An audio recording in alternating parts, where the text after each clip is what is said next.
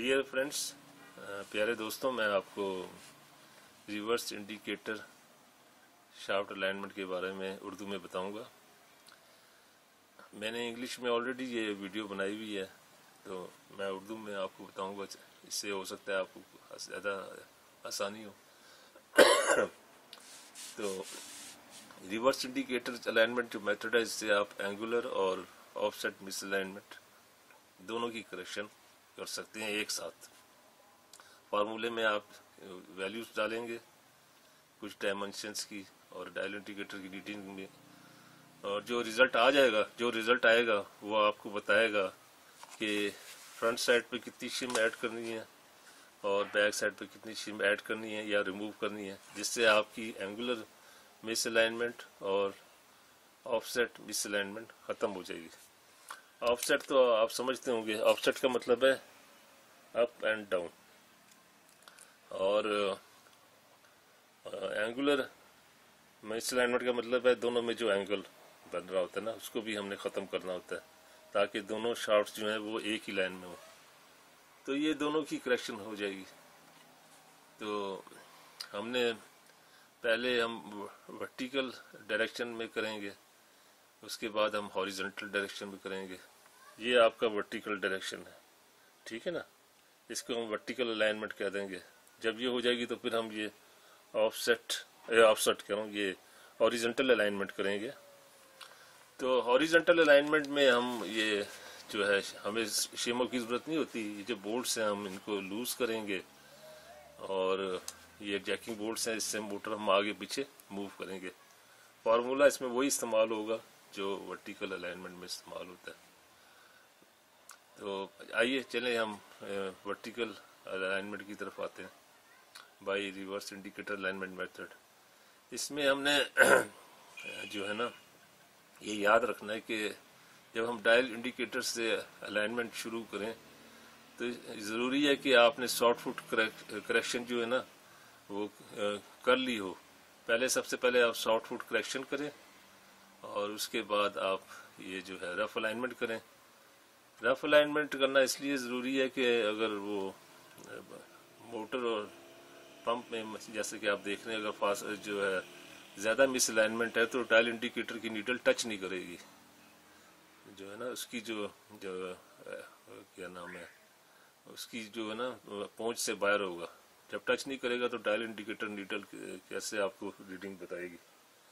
तो ये नीडल जो है ये टच करनी चाहिए और इसको, और इनमें इतना फासला रखें कि ये ऊपर भी जाए। अगर ये मोटर ऊपर मूव करे तो ये प्रेस होनी चाहिए। अगर मोटर नीचे जाए तो ये नीडल भी नीचे की तरफ़ मूव होनी चाहिए। यानी इसमें, इसकी रेंज में होना चाहिए, जो है ना रेंज में होना चाहिए डायल इंडिकेटर की मोटर को, ताकि आप रीडिंग ले सकें। अच्छा शॉर्ट फुट करेक्शन क्या होती है कि अगर ये जो चारों पोर्ट्स हैं, चारों जो जो आपके पोर्ट्स हैं इनके किसी के दरमियान में गैप नहीं होना चाहिए। यानी चारों जो है ना, सही तरीके से बैठ रही हो एक टाइम पे बेस के साथ।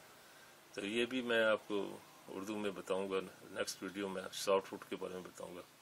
और रफ अलाइनमेंट आप कर सकते हैं, ये स्ट्रेट एज और फिलर गेज से। तो आइए रफ इसकी तरफ़ रिवर्स इंडिकेटर अलाइनमेंट की तरफ़ चलते हैं। इसमें आपने तीन डायमेंशंस लेनी होती हैं और ये दो रीडिंग्स लेनी होती हैं। एक डायल इंडिकेटर नीडल आप ये मोटर पे ले रहे हैं और एक डायल इंडिकेटर रीडिंग आप पंप की तरफ़ ले रहे हैं। ये मोटर आपकी मूवेबल है। मूवेबल का मतलब है कि इसको हम ऊपर ऊपर कर सकते हैं या नीचे कर सकते हैं शिमो की तरफ़ शिमो से अलाइनमेंट के लिए। अगर ये मोटर ऊपर है तो ज़ाहिर है आपने शिमें निकालनी होगी। और अगर ये मोटर नीचे है तो ज़ाहिर है आपको शिमें ऐड करनी पड़ेंगी। तो इस, इसको हम मूवेबल यूनिट कहते हैं और इसको हम स्टेशनरी यूनिट कहते हैं। ये, ये यानी ये पंप है। तो ये अच्छा तो अब आइए डायमेंशंस की तरफ़। जो हमने तीन डायमेंशंस मेजर करनी है फार्मूले के लिए। ये वैल्यू ये जो डायमेंशंस और रीडिंग्स मैं बता रहा हूँ ये हम फार्मूले में डालेंगे और हमारा हमारे पास आंसर आ जाएगा जिससे आपकी एंगुलर मिसलाइनमेंट और ऑफसेट मिसलाइनमेंट ख़त्म हो जाएगी। तो आपने तीन डायमेंशंस लेनी है। अच्छा। अच्छा ये एक चीज़ और मैं आपको बता दूँ पहले।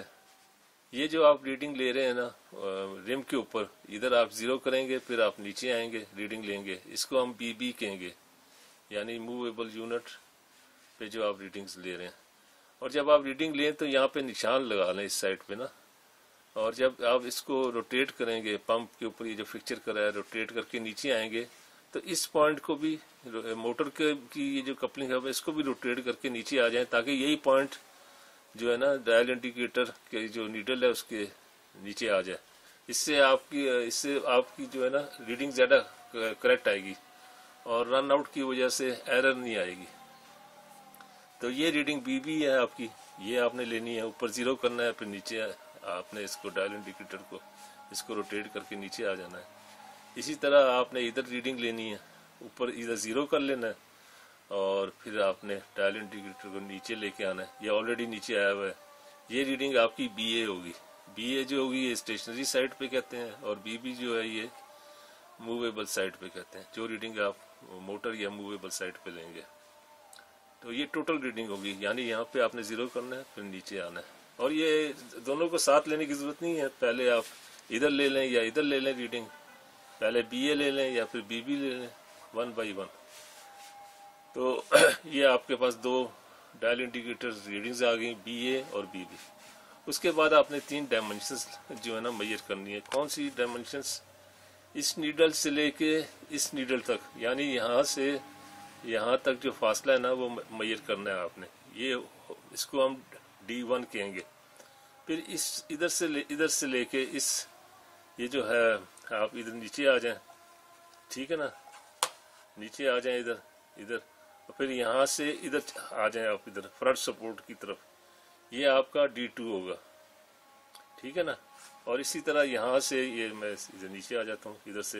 ये जो पहला, ये जो डायल इंडिकेटर है, जहाँ से आप बी ए रीडिंग जो है डायल इंडिकेटर जिससे आप बी ए रीडिंग ले रहे हैं, ये इसको देखें ना, इधर से मैं इधर आ गया फिर यहाँ से मैंने, यहाँ तक डायमेंशंस मैयर करनी है। तो ये डी थ्री आ गया। तो यहाँ से, यहाँ तक डी टू आ गया और यहाँ से, यहाँ तक ये डी थ्री आ गया। ठीक है ना? तो ये आपके पास तीन डायमेंशंस आ गई। डी वन डी वन फिर बता देता हूँ, यहाँ से यहाँ तक डी वन हो गई, और यहाँ से यहाँ तक डी टू हो गई, और यहाँ से यहाँ तक डी थ्री हो गई। तो ये आपके पास तीन डायमेंशंस आ गई डी वन डी टू और डी थ्री और आपके पास दो रीडिंग्स आ गई बी ए और बी बी अच्छा ये मैं आपको फिगर में भी बता देता हूँ, ये मैंने एक, यहाँ ली हुई हैं रीडिंग्स ये देखें ये जो है मैं आपको बताता हूँ ये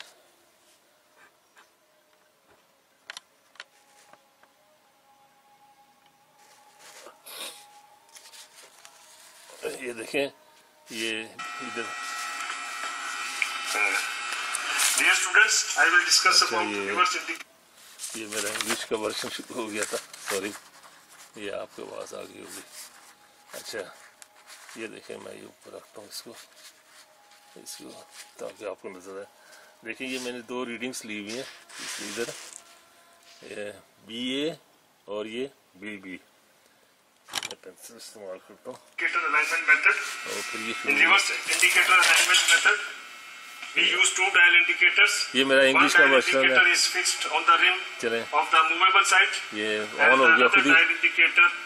ये चले देख लें ये भी देख लें आप। Like this is fix on the pump side और स्टेशनरी साइड चले देख लें ये भी देख लें। They are taking we are taking reading from this dial indicators on the rim of the coupling this is rim and this is the face we don't take any reading on the face we take reading on the rim of the coupling तो आप ये English का version जो है ये YouTube पे देख सकते हैं। ये भी मेरा ही है। वो मैंने इंग्लिश में बनाया हुआ मैं आपको उर्दू में एक्सप्लेन कर रहा हूँ। बैल आइए फिर उर्दू की तरफ़। वो ऑन हो गया था गलती से। तो ये जो है इंटरेस्टिंग अच्छा अच्छा। अब ये देखें कि ये दो रीडिंग्स हैं। बी ए बी ए है और बी बी ये मैंने ली हुई हैं। ये बी ए और ये बी बी जैसे कि मैंने बताया कि बी ए जो है, ये आप स्टेशनरी यूनिट पे लेते हैं रीडिंग और बी बी जो है, ये आप मूवेबल यूनिट पे लेते हैं। बी ए यहाँ माइनस थर्टी है और बी बी जो है प्लस फोर्टी है। और डी वन जो है ये टू हंड्रेड है और डी टू जो है ये थ्री हंड्रेड है और डी थ्री जो है ये फोर हंड्रेड है। ठीक है ना जी? तो आपको मेरे ख्याल नज़र आ रहा होगा। अच्छा ठीक है जी। ये आ गई आपको नज़र आ रही होगी।